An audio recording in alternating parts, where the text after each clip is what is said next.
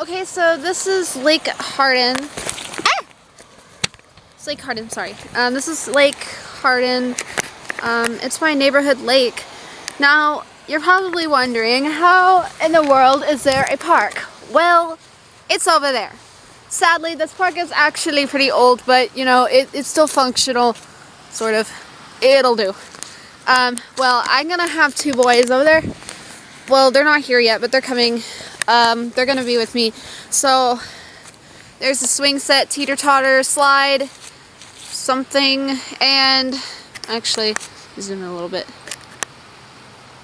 So, I don't know what that is. There's a, there's a slide, teeter-totter, and swing set. Perfect for what we need to do, and if we need anything, there is a bench over there we can use. We can also use a platform over there because we have a boat. Um, and a little thingy over there. That's not a restroom. I'm not sure what that is. Alright, um, so I'll get started as soon as the boys get here. I'll stop it for now. This one. I did it! Yay! Okay, so first I'm going to demonstrate some called kinetic energy. I'm not doing potential energy because that's kind of weird. Okay, so what I'm going to do is I'm going to stay here, and once I push off, I'm going to slide off the slide. Kind of a dust statement, but you know,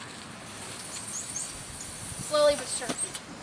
As you can see, the kinetic energy I use to slide down the slide is from the potential energy that I had when I started. So as I climb up the slide, you can tell I'm already building up potential energy.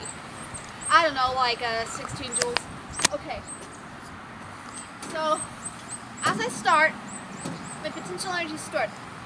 But once I lift off, right about here is when I have the most kinetic energy. Well, right now I don't have any because I stopped. But as I slide down the slide, and then I at the bottom, I get zero joules of kinetic energy. Anyways, so we're demonstrating the teeter-totter. The reason why we're not using this is because it's broken. Uh, but as you can see, in the middle is something called an equilibrium force. For, eh, force. Excuse me. Uh, and as he goes up and I go down, you can kind of see how the equilibrium comes into play. Uh, when we're going up, spin down. And if he goes too hard, I can fall to the bottom. And like that! Ow! Well, anyways, as you can see, centrifugal force happens when I swing with more energy. I go round and up and down, and I'm so glad I'm not wearing a dress. She's gonna break it. Up and down, like this.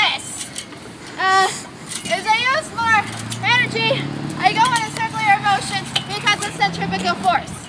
Uh, okay, stop it now.